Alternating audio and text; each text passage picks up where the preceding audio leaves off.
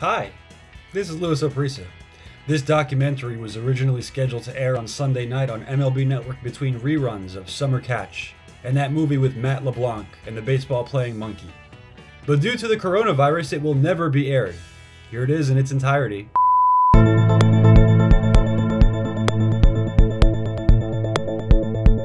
Welcome to the history of the Alex Panzetta Memorial Donut Eating Contest, brought to you by Krispy Kreme. Throughout the years, we saw triumphs, disappointments, and remnants of glaze left on Steve Novik's desk.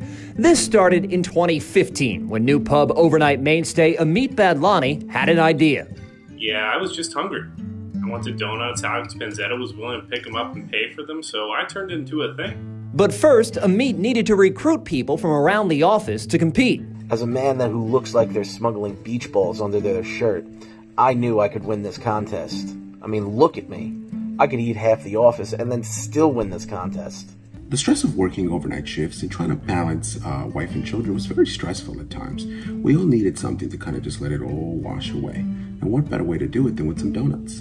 Verspoor might be 30 times the size of me, but I can go pound for pound against that whale weight. It was free donuts, so I thought I was up for the challenge, but I didn't really know what was in store. The contest was scheduled for a Thursday in mid August with Amit, Verspoor, Raz, Scrabonia, Ardini, and Mike Maffei competing. What was expected to be a close battle wound up being a blowout. Maff really started off strong and applied some pressure. He had three donuts down in about 40 seconds. We thought that Verspoor was going to be a real good challenger in this, but it was almost like he psyched himself out. He came in with a really unorthodox technique. My idea was to take three donuts, smash them all together, and just shove everything into my fat mouth as fast as I could. Everything was fine until it all started expanding in my mouth. I've seen Justin eat an entire wedding cake. Watching Verspoor struggle to eat is something I never thought I'd see. In the end, Mike Maffei became the first champion of the MLB.com donut eating contest, but his biggest challenger was yet to come. The year was 2016, and this man was seeing red. You know, I didn't really think much of it. Go in there, eat some donuts, you know, see what happens. I didn't think it would really end up being that big of a deal.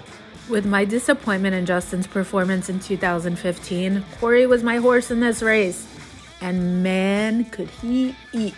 At that point, I had been traveling a lot, rubbing elbows with some of baseball's brightest stars. Top tier guys like Gregor Blanco and Munenori Kawasaki, so I felt like a hotshot walking into the office. I didn't think anyone would be able to take me down. Corey and Raz were going right for the champ, Mike Maffei. Corey recorded a time of 33.5 seconds and looked like he was going to steal the crown. Raz posted a disappointing performance, but that's when Maff brought his years of eating experience and clutch genes to the cubicle. You know, on the surface, it was this uh, beautiful thing. Really was. I'd always ask myself, why am I so fat? What's the point of this whole thing? And then on that day, I realized this is why I could eat three donuts in 30 seconds and be a hero to others. It was definitely worth it, and I'd do it again.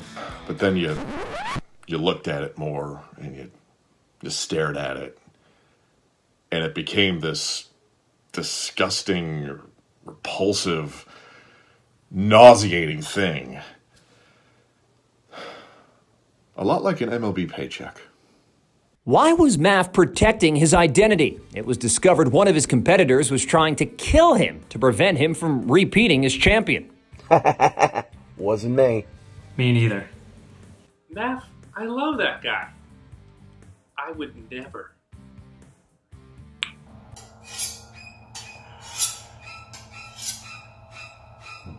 You guys, it, it wasn't me.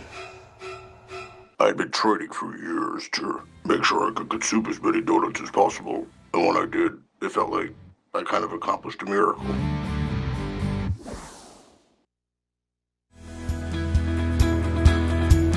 Hey guys, Darwin Zook here, and I'm here to help you figure out your 47 franchise cap size. Now the 47 franchise is a fitted cap, so you're going to have to measure the size of your head in order to get your cap size.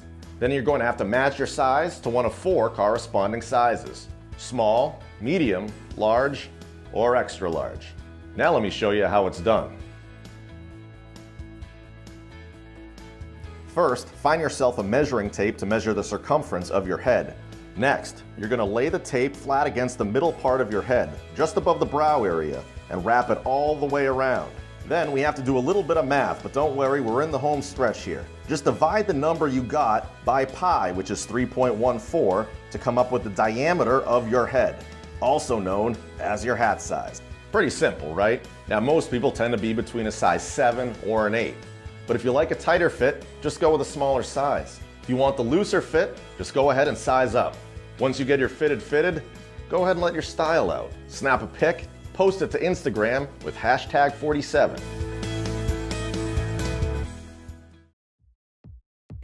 In 2017, Corey was not going to be denied in his search for a title, and it seemed he and Maff were the only true competitors. I mean, I was surprised he was coming back, you know, with him being in witness protection and all. But it was good for me. I wanted to destroy him. And I mean that in the contest, not, you know, kill him.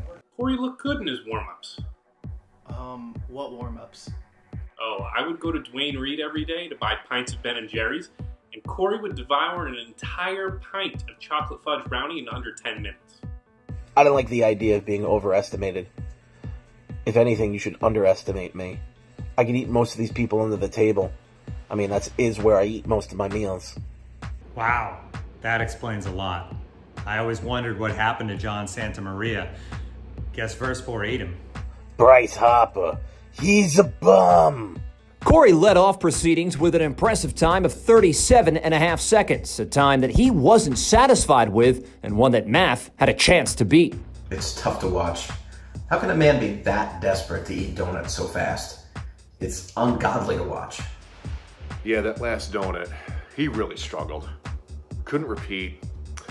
I had a thousand bucks on that guy. Couldn't come through. Could use that money for my newborn child. Wife? Still hasn't forgiven me. Hey, I love you.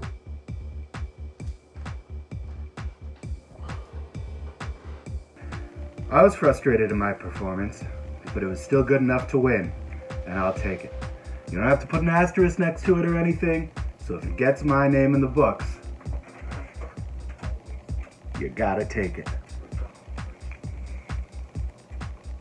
At the end of that year, the prod father, Alex Panzetta, moved on. The contest needed new funding to continue. Amit Badlani wanted to keep the flame burning. I agreed to go to Penn Station and buy the donuts on one condition that we remember the man we lost. So, we changed the name, and there it was. It's now the Alex Panzetta Memorial Donut Eating Contest, brought to you by Krispy Kreme and Amit Badlani's Walk. The 2018 showdown wound up being the last in what was a hallowed tradition, but it did not get off without fireworks. Corey sought to defend his title, and without Maff competing, it seemed he would win in a landslide, or so he thought. If you think my honey boo boo looking ass wasn't ready to win this thing, you have another thing coming. But then Verspoor, he didn't even really compete. He went home after lunch with a tummy ache, bowed out of the competition. Apparently he had Quincy Young for dessert. Even I thought that was a little too much. I'll always wonder if maybe the pressure was just too much for Verspoor. Aight, cool.